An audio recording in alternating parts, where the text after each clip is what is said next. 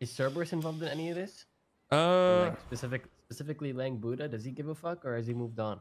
well, we already talked about this and we made this uh, a non-physical violence bullshit thing. So I assume that with them directly, no. Do I think ability did that that they may, might be working together? Yes, Wait, you think Cerberus and CG are working together?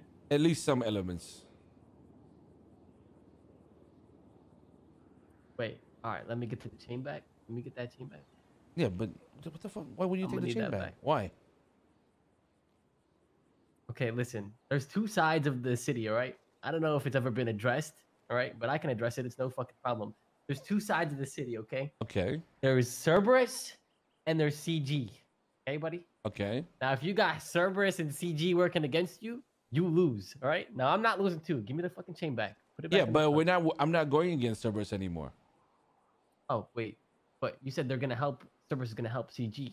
No, you dumbass. I said there were elements where I feel like they've been working together, but there's no longer going to be violence between us.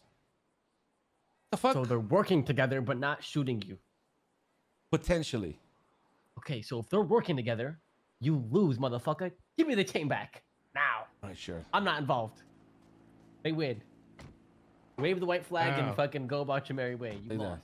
You just gonna shit. fold like that? God damn. Of course, I'm gonna fucking fold. Like I said, oh, two said sides of the head. city. No, no, no. Two sides of the city, and when those two sides fucking collide together and work together, you, you're fucked.